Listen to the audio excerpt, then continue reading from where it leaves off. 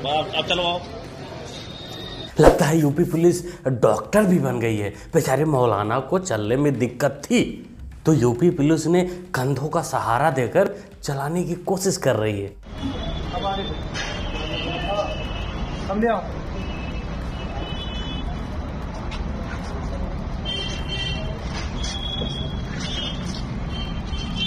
लगता है बेचारे को इस गर्मी में लू लग गई थी धूप की वजह से परेशान हो गया था। लेकिन यूपी पुलिस वो तो ठहरी दयालु बर्फ़ से सेकाई करके बेचारे को वापस छोड़ने जा रही। देखो सुधर जाओ भाई। सुधरोगे नहीं तो गफलत में मत रहना कि जेल जाएँगे। जेल के पहले जहन्नुम पहुँचा देंगे। ये लोग शायद भूल गए थे। इनको लगा था कि इनके बाप की सरकार आ गई है। ये अपने पुराने वाले काम पे दोबारा लौट जाएँगे। इस मौलाना का नाम है अताउर रहमान। इसने किया क्या था? इसने गुल क्या खिलाया था? यूपी पुलिस बताएगी। कल दिनांक 8 छह 2024 को थाना गजरौला क्षेत्र के अंतर्गत एक घर जारी महिला को एक व्यक्ति द्वारा रास्ता रोककर मारपीट एवं छेड़खानी करने की सूचना प्राप्त हुई थी जिस पे अभियोग पंजीकृत कर लिया गया है एवं उस व्यक्ति को गिरफ़्तार कर माननीय न्यायालय के समक्ष पेश किया जा रहा है। सर आरोपी के पास सामान बरामद हुआ? जी आरोपी के पास एक स्प्लेंडर बाइक जो कि चोरी की है एवं एक तमंचा बरामद किया गया है। इसका नाम है सलमान। ये राह चलती लड़की के हिप्स पर मारकर भाग रहा था। यूपी पुलिस ने इसका हिप्स तोड़ मरोड़ दिया। इसी लिस्ट में एक नाम और है डी के मिश्रा। इसका वीडियो अभी सामने नहीं आया है।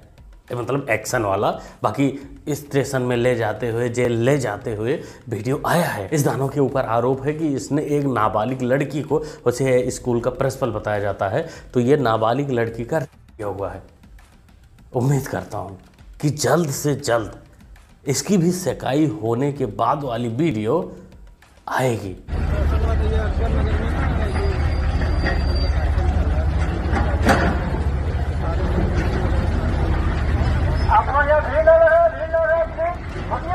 चलेगा भाई चले सुंदर बार बार करने के बाद भी चले जाइए हट जाइए चलो बच्चों आए चलो यहाँ से निकलो अरे यहाँ से दो महीने से आचार संहिता क्या लगा था?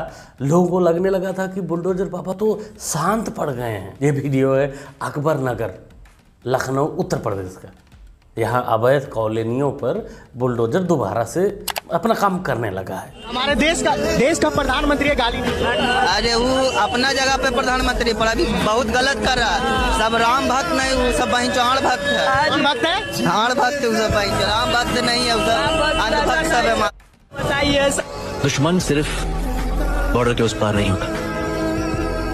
घर के अंदर भी होता है। इन भाई साहब को भी गलत फहमी हो गई है। इनको दो तीन महीने से जो न्यूज़ ऐसा कुछ नहीं आया था कि इनका सुन के फट के फलावर हो जाए ये भूल ही गए थे। इनको अभी भी लग रहा है कि पप्पा की सरकार आएगी। लेकिन बेटा तूने जो हरकत की है जो बदतमीजी की है सरकार को तो छोड़ो। सरकार आए ना आए लेकिन तू जैसे ऊँट पहाड़ के नीचे आता है ना तो पता चलता होगा, उम्मीद है बाबा की पुलिस, यूपी प्रशासन, जल्द से जल्द कुछ अच्छी खबर दिखाएगी, बताएगी, सुनाएगी। तो आप लोग भी चैनल के साथ बने रहिए, जुड़े रहिए। मेरा अल्लाह है, और जब तक ऊपर वाला है, मेरे साथ इंसाफ होगा। अब धक्का की तो यार इनके खिलाफ तुम लोग नहीं चलाते। ये धक्का क्यों मारते रहते पुलिस? हम विधायक है अपराधी है, आतंकवादी है क्या? ये हमेशा देखो, धक्का मार देते। वो देखो, गला पकड़ लेंगे, ये लोग कभी इनके खिलाफ नहीं चलाते हो? ये पुलिस वाले बदतमीजी करते ये क्यों नहीं चलाते? इसका नाम है इरफान सोलंकी, कानपुर वाला। अखिलेश भैया का बहुत करीबी दोस्त हुआ करता था, विधायक हुआ करता था। था इसलिए क्योंकि इसका हिसाब किताब हो चुका है। कोर्ट वाले अंकल ने सात साल की सजा मुकर्र कर दी है। ये वीडियो में बोल रहा था कि हम विधायक हैं, हमको ऐसे चप्पल जूते मार मार के पुलिस ले जाती है। अब वो टेंशन पुलिस वालों के लिए भी खत्म। क्योंकि विधायकी खत्म। कांग्रेस आ गई दोस्तों बधाई हो! कांग्रेस आ गई चाचा बधाई हो! बेटा कांग्रेस आ गई।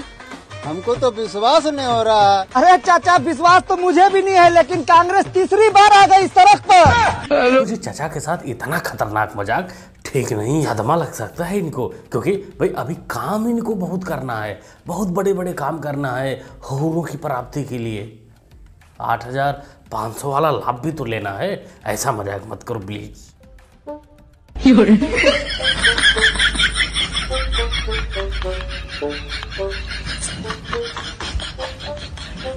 इस वीडियो को देखकर एक बात तो समझ में आ गई कि कुत्तों को विकास से कोई लेना देना नहीं होता। उनको एक टुकड़ा रोटी का किसी ने सामने से दिखाया वो विकास को रौंदते हुए आगे निकल जाते हैं।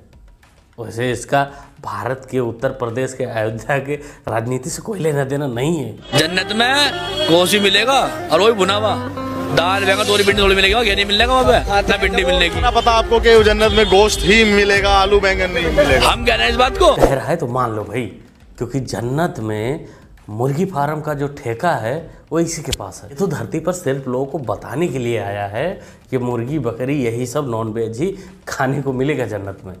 बाकी तो इसको निकलना है अभी जन्नत के लिए। इसको लेट हो रहा है जल्दी जल्दी आप लोग समझ लो। देखिए, जो हमारे इस्लाम में है, तीन तलाक।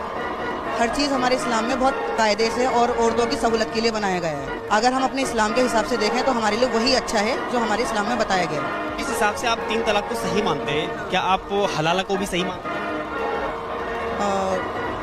एक हद तक। एक हद तक मतलब दस से पंद्रह बार चल सकता है। कि उसके ऊपर अगर निकल जाता है तो बाबा साहब का बाबा साहब के कानून का सहारा ले लेंगे।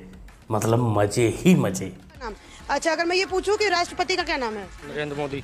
राष्ट्रपति पूछ रही हूँ प्रधानमंत्री थोड़ी योगी क्या पढ़ाते हैं सरताज साहब? आप एक अर्चना जी आप भी इन मदरसा छापों से क्या सवाल पूछ लेती हैं कि भारत के राष्ट्रपति प्रधानमंत्री शिक्षा मंत्री ये सब क्या है? सवाल अच्छा पूछो जो इनके लेवल का हो। इनसे पूछो कि दाऊद इब्राहिम कौन है? दाम हुसैन की क्या हिस्ट्री है? या बाकी जो ऐसे संगठन हैं, उनकी हिस्ट्री पूछो, वो पूरा रट्टा मार के बैठे हैं। सब पता है। तुम पर राष्ट्रपति पूछ रही हो, प्रधानमंत्री पूछ रही हो है गलत बात है।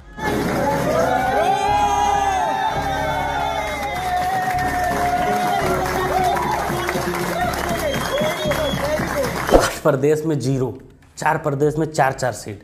टोटल पूरे भारत में निन्यानवे सीट लाने के बाद अगर ये चमची इतना ज़्यादा खुश है तो सोचो अगर इसका कहीं डेढ़ सौ से दो सौ सीट आ गया होता तो ये छत से कूद गई होती। भारतीय जनता पार्टी शासित केंद्र सरकार को शांति नहीं मिली है। भारतीय जनता पार्टी अरविंद केजरीवाल जी को प्रताड़ित करने में कोई भी कसर नहीं छोड़ रही है। अरविंद केजरीवाल जी ने सरेंडर किया। उनको एक कोठरी में रखा गया है, जहाँ पर कूलर तक की सुविधा नहीं दी गई। आंटी जी को लगता है किसी ने बताया नहीं है कि गोगरू सेठ जेल गए हैं। बीबी के मायके नहीं जो कूलर पंखा हाथ वाला पंखा लाइट चली जाए तो सारा व्यवस्था छिड़काव पानी बर्फ़ अब इंतज़ाम हो जाए। दिल्ली वाले अब सटक गए हैं। सात सीट हरा कर उन्होंने दिखा दिया कि उनकी सटकी पड़ी है। कारण ये है। ये देखो ये इनके खींचो ना। ये खींचो फ़ोटो ये ड्राम लिए। ये देखो। ये खाली है स्टैम्प ये देखो ये सारे खाली हैं ये खाली हैं सारे। बताओ ये हाल है। ये पानी नहीं मिल पाया। ये नहीं मिल पाए। अ- अभी गाड़ी आएगी बड़ी जब तो। ठीक है ना? ये देखो आप इधर आओ ना। अभी हमारा नंबर क्या है? ये देखो। ये खाली है?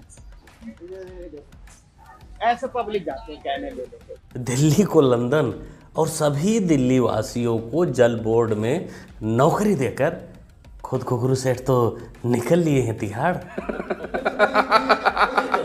तो ये महिला मंच की तरफ़ से प्रदर्शन किया जा रहा है जो केजरीवाल जी ने जो वादा किया था इलेक्शन से पहले कहा था कि हर बहन को एक एक हज़ार रुपए दिए दिया जाएगा। वो नहीं दिया गया उसी के उस पर प्रदर्शन किया जा रहा है। मेरा नाम सफिया है मैं महिला मंच से आई हूँ और मैं ये ये पूछने आई हूँ कि जो केजरीवाल जी ने वादा किया था हमसे फॉर्म भरवाया था एक हज़ार रुपए के लिए उस वादे को क्यों नहीं पूरा किया? तो दोस्तों दिल्ली सरकार को चला कौन रहा?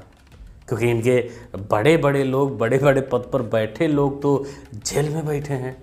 तो बाकी ये लोग पानी के लिए, बिजली के लिए और सभी समस्याओं के लिए शिकायत किससे करते होंगे? सवाल बहुत बड़ा है। तो आप लोग को क्या लगता है? कमेंट करके बताइए कि कैसे चल रही है दिल्ली सरकार? उसका मालिक अभी है कौन?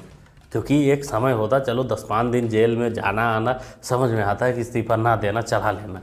जब पता है कि कब तक रहना है मतलब पता ही नहीं कि कब तक रहना है, फिर भी इस्तीफा नहीं। अब गजब खेला चल रहा है दिल्ली वाले के साथ। क्या सोचते हैं आप लोग? कमेंट करिएगा ओवरऑल पूरी वीडियो आपने देखी। आपको कैसा लगा? कौन से क्लिप पर, बाबा जी के एक्शन पर आपका क्या रिएक्शन है? आप कमेंट में लिख सकते हैं, बता सकते हैं। मुन्ना भाई को सपोर्ट भी कर सकते हैं सुपर स्टिकर के माध्यम से। और सबसे बड़ा तो आप चैनल को सब्सक्राइब करके भी कर सकते हैं। जो कि होता है बिल्कुल फ्री। सब्सक्राइब करिए, जुड़ जाइए। मिलते हैं अगले वीडियो में। Thanks for watching